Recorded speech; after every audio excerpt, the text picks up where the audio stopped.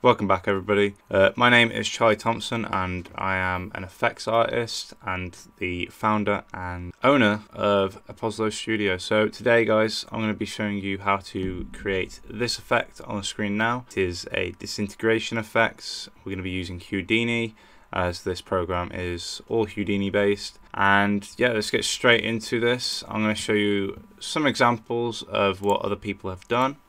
So as you can see here on the internet, just type in disintegration effect and it comes up with a bunch of different disintegration images. So um, people have used birds, they've used just rubble, they've used smoke, they've used all sorts of stuff. We're going to be using particle effects. As you can see, this has mostly come from Infinity War and Endgame. So we're going to get straight into this. I've set up a new scene, I've also gone to file and I've also gone down to set project. So when we save all our caches, it'll go to one set project folder. Okay, so first of all, what you want to do is you want to add in the geometry or text that you want to disintegrate. So I'm just going to press tab and enter in font, which is the text. We're going to then click it down here. I'm going to change the name to tutorial. As it is tutorial. Uh, we're going to jump straight into it and the font here I'm also going to change to tutorial. Find it then. There we go. Alright so as you can see now it's a very thin piece of text and we are going to change that. We're going to actually add a an extrude uh, old onto it. So if you click the little dot down here bring it down press tab again and type in extrude or majority of it and then you can see it pops up down here. It's got a little bit of a symbol of T um, coming off it and as you can see now it's extruded the text. It's a little too much. So if you come down to the depth scale you can bring this down to as much as you want. I'm going to stick around about around about there, um, 0.14 slash 5. Okay, so that is perfect. We're then going to add in a little bit of detail into this text. So I'm going to add in a divide. Oh, divide. I'll just show what that does. So it adds a little bit more detail onto the inside. You can also move this around so it's not as crazy. You can also add a bit of smooth onto it, but that does deform the text a little bit. We don't want to be doing that. Uh, you can increase the um, amount of divisions as well. Um, you can tick all these, see what these do. Uh, avoid small angles is quite a good one as well. So I'm going to do that and the rest I'm just going to leave as it is. So all I did there guys was I just ticked on avoid small angles. Left it as 3 um, and that's perfect. So now there's a bit of detail there, but not enough to what we need for the next stage. So if you click tab again, and we're going to type in subdivision. And this basically will add even more detail. As you can see at the moment though, it is a little bit dodgy on the outside, which is fine. Uh, we can jump through a couple of these, see when the text goes alright, and I believe it's this one. Yep, so it's the end one here, open sub, and now I think that's just enough detail. You can add a bit more on, maybe add it up to two. Um, the more you add on, the better it's going to be. If your comp computer can hold it, then that's great. I'd probably go up to two or three. Now we've got the, the detail onto this text. All we need to do now is actually add in the sphere that is going to go from one side of the text to the other to destroy it. So we're going to go tab and we're going to type in sphere. At the moment, um, if you come down to, if you view this, so the blue button there, um, and then come down to subdivision, and we're going to click this purple icon here. So now you can see the text as well as the sphere. So now what you want to do is it's only got eight faces. We don't want eight faces, we want a lot more. So we're going to come up to here and we're going to come all the way down to polygon mesh. As you can see, it adds a few more. It also gives you two more options, rows and columns. So at the moment it's on 13 rows and 24 columns. If we bump them both up to 100, you'll see there is a lot more detail into this, which is what we need for the next node. So if you come back down and press tab, and we're going to add in a mountain node. This, as you can see, before I've even viewed it, it kind of like distorts it. Um, adds a bit of a a noise to the actual model itself. So we've got that. I'm thinking about leaving it just as it is now. You can also go back up to the sphere and you can add in more detail. So it adds it, it makes it a little bit better. Um, you don't have to do that. Depending on how good your computer is, you can go up even more. But um, for now, we're just going to leave it at that. I'm happy with the angle on that as well. You can go in here and you can change the height. Uh, you can change the amount. Uh, you can change the time. There's a bunch of different things you can do, but I'm just going to leave it on the default height 1 and element size 1.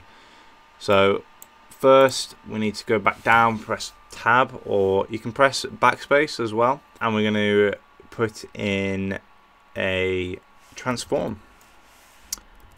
So we want the transform node. What the transform node does is you can move it from A to B and you can keyframe it, you can change the size and the rotation of the um, objects. So firstly, we're going to go all the way back to frame 1 as this is where we're going to keyframe it at.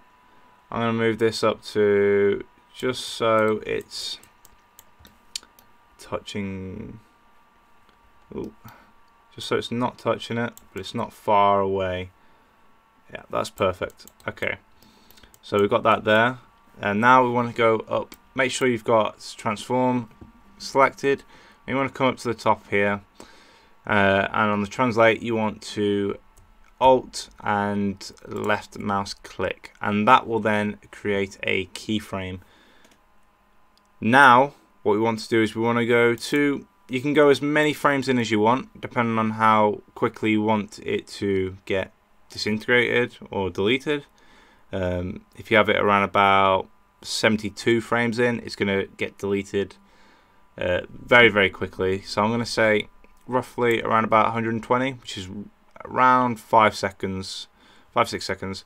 So now we're going to then also go to Alt and click on the translate um, we can then also move this over to the center of where the text is. You can move it over to roughly whereabouts it is, but if you come over here and you actually type in zero, it will put it dead bang in the middle, which is what we want. Um, just gotta keep that selected. So now we've got that, and you're wondering why I've only gone halfway.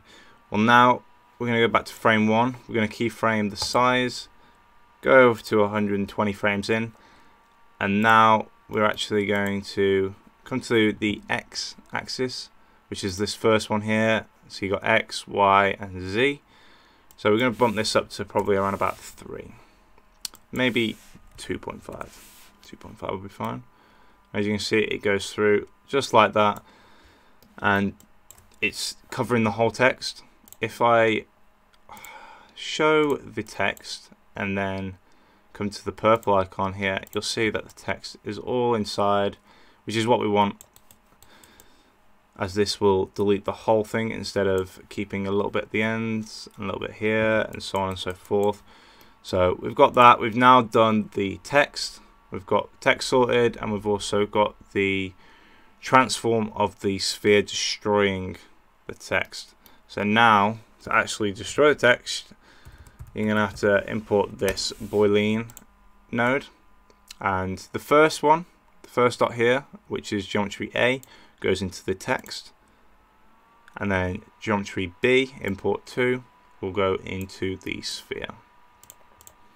And just let that load quickly. If I come back down here, okay. So as you can see, quickly, it's actually doing the opposite. It's creating it, which is quite a cool effect, but not the effect that we want. So yeah, you can see it's creating it. We want it the other way around, so we're going to change this operation to subtract. And as you can see now, it's subtracting it. It's actually deleting it, which is what we want.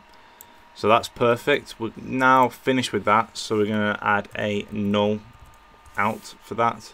So we're just going to type in out text and you can add in a cache node um, a file cache node to cache that out uh, makes your computer go a little bit quicker nothing crazy with this at the moment though so you don't need to but now what we want to do is we want to press tab color okay and I'm just going to duplicate that by holding down alt and dragging it across for color 1 we are going to change this to black so it's 0, 0, 0, 0.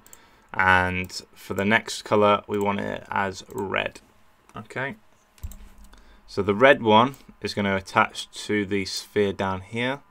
And the black one is going to connect to the text just under the subdivision. So the text now is black and the sphere is red. Um, now, what we want to do is we want to add in a attribute transfer. Okay, so you click that in. Again, with the first one, it's going to be on the text, so the black, and the second one is going to be on the red, which is the sphere. So if we click here now, highlight that, as you can see, everything is red. We don't want everything red, we only want parts of where it gets destroyed red.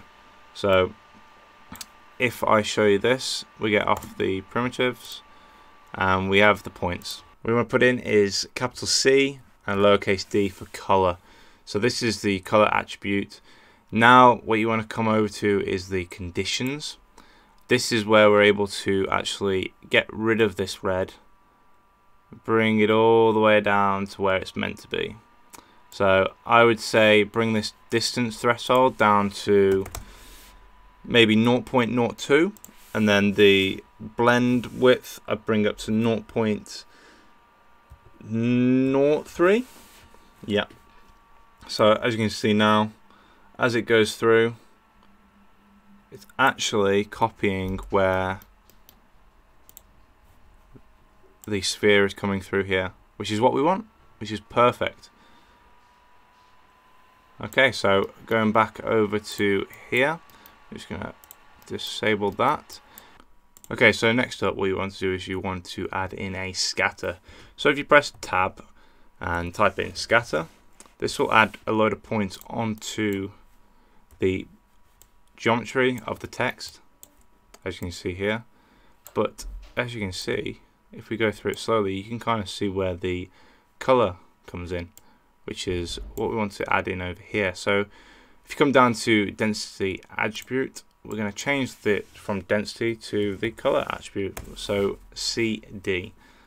As you can see, we've now got points appearing where the color is, which is cool, which is exactly what we need. We can also up this to 10,000. You can have as many as you want. Um, just be careful not to go OTT on that because it will crash your computer. And talking about crashes, make sure you are constantly saving your file. So I've, if you want to, instead of going to File Save, you can just press Control S, and that'll save it to where you last saved it to. Um, now, what we want to do is we actually want to go in and create a pop network, which is where we're going to create all this particles. So pop network, we're going to add that in here. The first one here goes up to the scatter. Um, I'm just going to add a merge down here as well for later on, which I will discuss why. Okay, so here we go. We come off this now, we've now got, oop, if we go into it, sorry, so these are the, all the particles. This is the particle effect, um, the DOP network, and we can go in and we can actually change how many particles are put in, and so on and so forth. So I'm going to click on points. I'm going to go back to the start. This is where it will slow your computer down, but as you can see, once it's gone over and created it, they stay there, which is what we want. Um, to move them, we're going to add in a wind. So if we type in pop a wind and put that just below the pop source, um, make sure the emission is on points. Um, also the birth, you can change the amount um, of particles that um, happen. I think it's in a second or something like that. Um, but you can bump that up to maybe 10,000 just for the moment. Nothing too crazy, and you'll see that the particles are even greater. There's even more there. So I recommend maybe staying on a low number, getting the kind of like structure of how you want it to destroy and where the particles to go then bump that up then render it out. So we've got that now. Uh, we're going to mix it up a bit. We're going to put we're going to put 0.1 and 0.1 in the y and the z axis. Um, this will mean that the particles will go up and towards the camera at the moment. So it'll go up and it'll go that way. It'll go right. So that's okay if you want that. But if you come over to the amplitude and boost this up a little bit, nothing too crazy, you can also go over to the swirl. You can change that, change the roughness, offset. All these called little um, sections you can change, which will impact where the particles go and so on. So if you go back to frame one and if we just play this really quickly, now you see that the noise has proper taken effect of this, which adds a, quite a cool effect, I think. You can also have it so you have these particles disappearing if you want that will be up in the pop source. Come over to birth and then the life expectancy if you type it down to 1 uh, put this to 1 as well. Uh, as you'll see the first couple of frames will get deleted after a second. As you can see they're deleting themselves. And yeah so it'll keep gradually deleting and deleting and so on and so forth. So we, we don't want that, so I'm going to put that back to 100 and 0. Uh, there's loads of different other stuff in this, but you don't need to go ahead with it. I'm just doing the simplest way of creating this destruction, disintegration effect. So you get it onto your show reels and send it off to all the bigger companies and they'll be wowed by it. Just after this tutorial, go back and change it from text to geometry or anything really. Just change it to anything. And you can go in add more particles and so on and so forth. You want to be original in this to get noticed by all the biggest studios. So now we've done that uh, we are going to actually come out of this.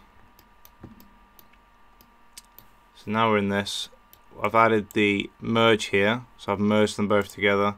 So I've still got the scatter. As well which is around the edges which is what we want. Um, otherwise it would have just been like that. You can see on the edges here that when I pair that it adds them more back in which adds a little bit more of a cool effect. Um, we're then going to go I'm just going to quickly go back. Um, we're then going to go and add in an attribute delete because we want to get rid of the colors so we're going to click here. And we come to points and we're going to type in the color attribute which is capital C D. Okay so now there is no color on it other than the default black so now guys, we're going to add in the slightest bit of coding, nothing too crazy. I'm not the biggest fan of coding myself, uh, but this one, it's it's a very simple line of code. So we're going to type in tab, We're going to type in attribute wrangle. Okay, put it into the first one.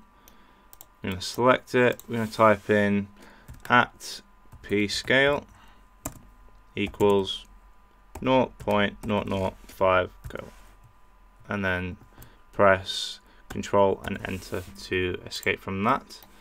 This basically makes it so each one of these points you can now um, render out and it'll be at that scale. You can make it bigger if you wanted to.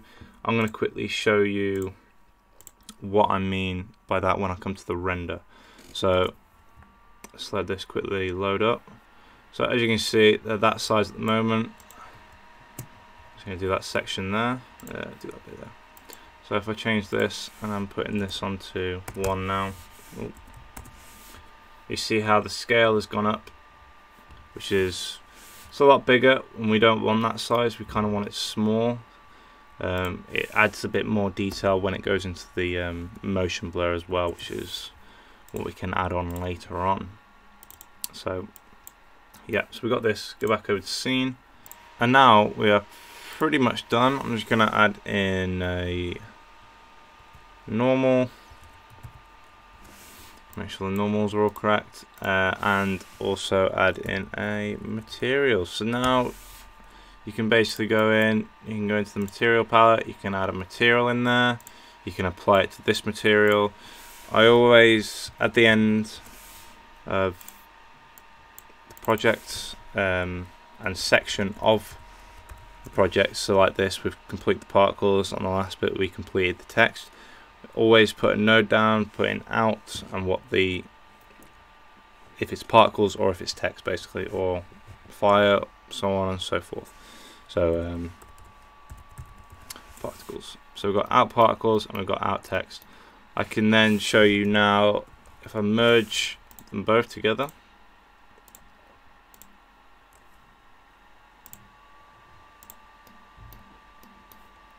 that we have the text. My computer is currently struggling a little bit. We have the text and we also have the particles destroying the text.